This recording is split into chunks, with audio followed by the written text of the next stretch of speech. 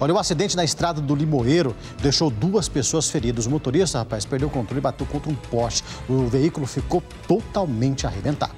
O motorista desse carro perdeu o controle e bateu contra um poste. O acidente aconteceu na estrada do Limoeiro, na zona leste de Londrina. Duas pessoas ficaram feridas.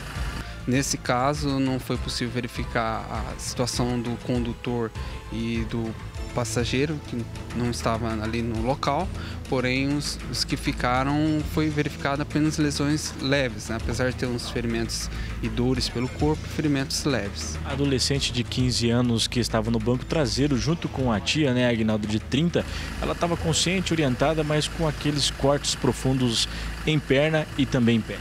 Sim, é preciso ser feito aí um tratamento nesses ferimentos, né, feito sutura no ambiente hospitalar, bem como também é interessante radiografar para verificar se não pode ter acontecido também uma fratura incompleta. A tia da adolescente estava deambulando, né, estava andando ali pelo local apenas com a contusão em tornozelo. Sim, ela deambulando, né, só foi encaminhada para o hospital também para poder ser melhor analisado pela equipe médica. Segundo as informações das duas vítimas que ficaram no local, né, Aguinaldo, o condutor do veículo estava indo sentido a Santos Dumont em alta velocidade quando perdeu o controle e acabou batendo contra o poste. Os dados preliminares é, de alguns populares ali no local informaram isso, então foi necessário aí verificar com o pessoal da polícia. Agora, Aguinaldo, o carro ficou com a lateral totalmente destruída.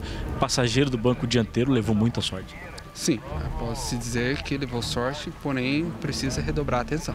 Duas vítimas, então, conscientes e orientadas, encaminhadas até o Hospital Zona Norte. Sim, as duas que ficaram né, foram encaminhadas para o Zona Norte, as, as outras não sabemos do paradeiro.